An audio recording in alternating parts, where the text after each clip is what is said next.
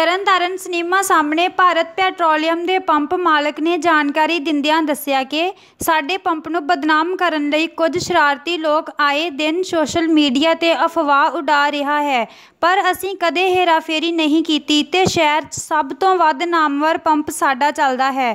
ਕਦੇ ਕਿਸੇ ਗਾਹਕ ਨੇ ਸਾਨੂੰ ਉਲਾਮਾ ਨਹੀਂ ਦਿੱਤਾ, ਸਿਰਫ ਇੱਕ ਹੀ ਵਿਅਕਤੀ ਬਾਰ-ਬਾਰ ਇਸ ਤਰ੍ਹਾਂ ਬਦਨਾਮ ਕਰ ਰਿਹਾ ਹੈ। ਉਸ ਨੇ ਪੰਪ ਤੇ ਆ ਕੇ ਸਾਡੇ ਨਾਲ ਝਗੜਦਿਆਂ ਹੱਥਾਪਾਈ ਵੀ ਕੀਤੀ ਅਤੇ ਜਾਨੋਂ ਮਾਰਨ ਦੀਆਂ ਧਮਕੀਆਂ ਦਿੱਤੀਆਂ ਹਨ। ਜਿਸ ਸੰਬੰਧੀ ਅਸੀਂ ਥਾਣਾ ਸਿਟੀ ਵਿੱਚ ਉਸ ਖਿਲਾਫ ਸ਼ਿਕਾਇਤ ਕੀਤੀ ਹੈ। ਸਾਡਾ ਪੰਪ ਜਿਹੜੀ ਮਰਜ਼ੀ ਅਥਾਰਟੀ ਕੋਲੋਂ ਚੈੱਕ ਕਰਵਾ ਸਕਦੇ ਹੋ। 100 ਫੀਸਦੀ ਸ਼ੁੱਧਤਾ ਅਤੇ ਮਾਪ ਪੂਰਾ ਮਿਲੇਗਾ। ਹਾਂਜੀ ਜਿਹੜਾ ਬੰਦਾ ਅਸੀਂ ਕੀ ਕਹਿੰਦੇ ਆ, ਆਪਣੇ ਹਾਈ ਕਮਾਂਡ ਆਪਣੀ ਕੰਪਨੀ ਦੇ ਕੀ ਕਹਿੰਦੇ ਵੱਡੇ ਅਫਸਰਾਂ ਨੂੰ ਦੱਸਦਾ ਹੈ ਉਹਨਾਂ ਨੇ ਨੋਟਿਸ ਕੀ ਕਹਿੰਦੇ ਗੱਲ ਆਤੀ ਹੈ ਤੇ ਅਲਰਟ ਕਰ ਦਿੱਤਾ ਗਿਆ ਹੈ।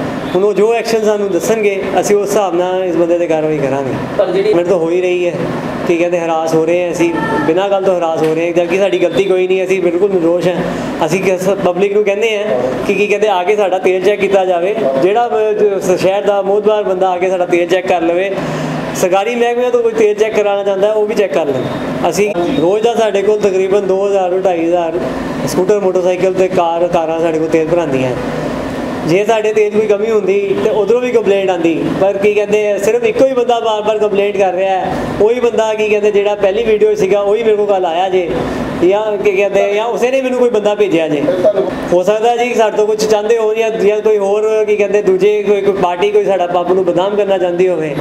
ਉਹਦੇ ਵਾਸਤੇ ਕੋਈ ਬੰਦਾ ਅੱਗੇ ਲਾਇਆ ਹੋਵੇ ਇਹਦੇ ਬਾਰੇ ਅਸੀਂ ਕੁਝ ਕਹਿ ਨਹੀਂ ਸਕਦੇ ਪਰ ਹੋ ਸਕਦਾ ਹੈ ਕਿ ਕੋਈ ਸਾਡੇ ਖਿਲਾਫ ਸਾਜ਼ਿਸ਼ ਕਰ ਰਿਹਾ ਹੋਵੇ। ਉਸ ਤਰ੍ਹਾਂ ਦਾ ਇਹਨਾਂ ਦੀ ਕੁਆਲਿਟੀ ਕਿਹੋ ਜਿਹੀ ਤੇ ਉਹਦੀ? ਗੁੱਡ ਕੁਆਲਿਟੀ ਹੈ ਜੀ ਸਰ। ਸ਼ਹਿਰ ਦੇ ਵਿੱਚ ਪੰਪ ਹੈ। ਪੂਰਾ ਤੇਲ ਮਿਲਦੀ ਨਾਲ ਪਾ ਕੇ ਦਿੰਦੇ ਚੈੱਕ ਕਰਾ ਕੇ। ਤੁਹਾਨੂੰ ਪੂਰਾ ਤੇਲ ਮੈਂ ਰਾਤੀ ਵੀ ਗਿਆ ਮੋਗੇ ਗਿਆ ਤੇਲ ਇੱਥੋਂ ਪਵਾ ਕੇ ਗਿਆ ਵਾਂ। ਸਲਮੇ ਦੇ ਸਾਹਮਣੇ ਪੈਟਰੋਲ ਪੰਪ ਆ। 14 ਸਾਲਾਂ ਨੂੰ ਤੇਲ ਖੜਦਿਆਂ ਨੂੰ ਹੋ ਗਏ ਇੱਥੋਂ। ਕੋਈ ਅਜੇ ਤੱਕ ਲਾਭਾ ਨਹੀਂ ਕੋਈ ਦਿੱਕਤ ਨਹੀਂ। ਬਹੁਤ ਵਧੀਆ ਤੇਲ ਆ। ਨਹੀਂ ਜੀ ਅੱਜ ਤੱਕ ਤਾਂ ਨਹੀਂ ਆਇਆ। 14 ਸਾਲ ਹੋ ਗਏ ਸਾਨੂੰ ਤੇਲ ਖੜਦੇ ਨੂੰ ਜੀ ਇੱਥੋਂ। ਇਹ ਸਭ ਤੋਂ ਵਧੀਆ ਬੰਬ ਹਾਂਜੀ। ਓਕੇ।